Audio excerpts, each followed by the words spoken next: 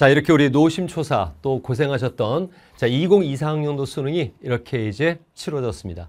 어, 한 해 동안 정말 고생 많이 하셨고요.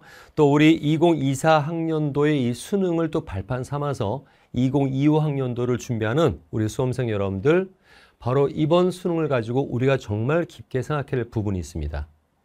아, 절대 이 수능이라는 부분에 대해서는 난이도를 예측하면 안 된다는 것이죠. 한 해 동안 많은 얘기들이 있었죠. 그래서 뭐 어떤 문항을 뭐 출제하지 말라 않는다 하니 어, 문항이 쉬워지지 않겠는가? 뭐 변별 확보는 어떻게 하겠는가? 아, 이런 이제 얘기도 많이 있었죠. 하지만 공부는 절대 난이도를 예측하지 마시고 강하게 하셔야 돼요. 어떻게 나오든 간에 모든 걸 극복할 수 있는 그렇게 처절하게 준비해야 되는 게 어쩔 수 없는 수능 1년이 되는 것입니다.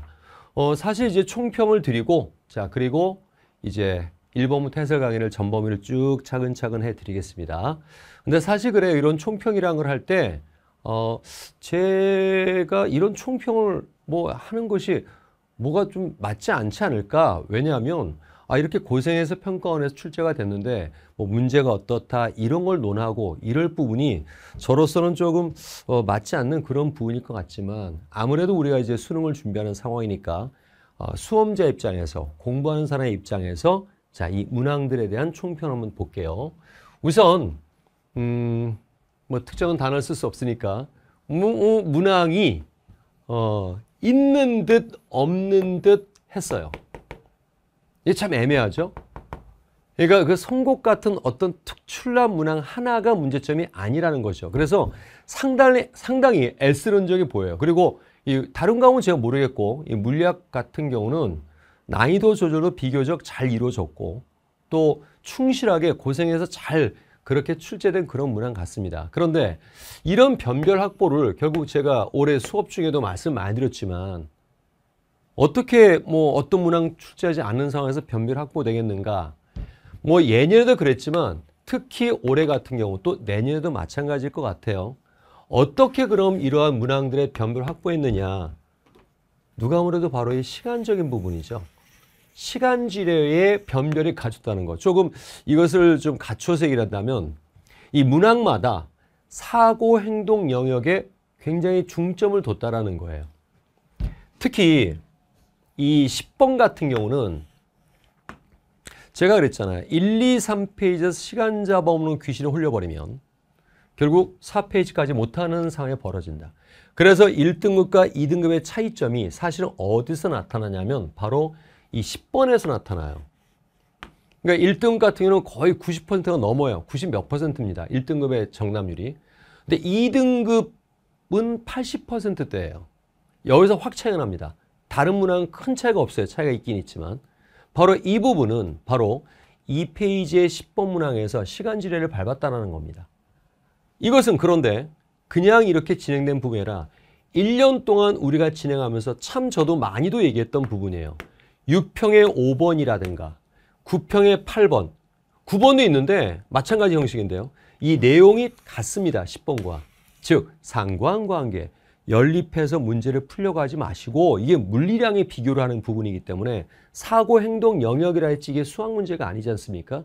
어떤 물리량의 변화가 어떤 결과를 초래했는가 그것을 공통과 차이점을 인식해 나가서 짧게 가라고 2페이지에 요거는 1페이지에 2페이지에 배치된 이 배치가 상당히 변별 확보에 중요한 요소가 되는 부분이에요. 또한 이 비주얼에 당황한 그런 문항들이 또 보이는 게 14번 같은 경우는 뭐 우리 굴절 법칙이란 것이 이제 물리학 원의 교과가 아닙니다라는 걸 알고 아니 굴절 법칙의 공식이 아닙니다는 알겠죠. 굴절 법칙은 있는데요. 그런데 사실 이 문항은 뭐 공식을 운운한 게 절대 아니었던 거예요. 단지 사인 i가 i에 비례한다. 이 상황만 가지고 진행을 하는 부분이었던 것입니다. 그리고 16번 같은 경우는요. 음, 람다분의 1로 나와 있고 이게 좀 이거는 어려운 것이 아니라 안 그래도 이제 시간에 대해서 어택을 타임 어택을 받는 그런 3페이지 마지막 문항인데 아 이거 딱 이건데 람다분의 1로 나오니까 혼동이었거든요. 아 이거 통제변은 잡는 거죠. 속력이 같다. 그 입자 두 개가 질량이 다른 게 있어요. 그러면 바로 람다 분의 1 나왔으니까 이거 바꿔서 운동량이 좌변 가고 람다가 분모로 오게 되면 어 람다분의 하 이건 상수니까 람다분의 1은 람다분의 1이 크면 운동량도 크다. 그걸로 가는 거예요. 이게 같은 속력이면 운동이 크다. 이놈이 질량 큰 놈이야. 이렇게 하면 되는데 이게 평가원에서 참 잘 만들었던 것이 그냥 이거 하나면 돼요. 물론 이제 운동해지는 EM분의 P제곱도 보기에서 활용이 되겠지만 근데 이러한 아주 기본적인 것들에 대해서 이 물리량 관계를 인식할 수 있겠느냐. 그러니까 우리가 보통 막 어려운 문제 그러면 꼬아서 내는 이런 문항들을 많이 생각하는데 이거 절대 꼬아낸 게 아니죠. 물리량 관계를 파악할 수 있느냐. 이 상황만 얘기가 된 부분이랍니다.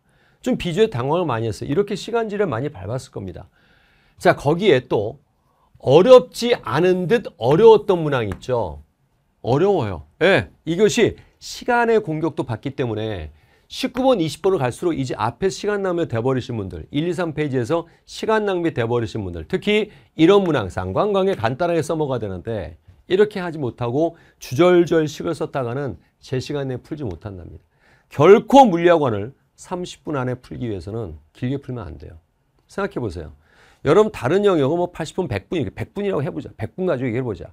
100분에서 1분과 30분의 1분은 굉장히 큰 차이예요. 물론 문항수 차이가 있어 100분과 30분 이렇게 해놨지만 100분에서 1분은 잠시 딴, 딴 곳에 한눈을 팔아도 금방 복구가 되는 시간이죠. 99분이 있으니까.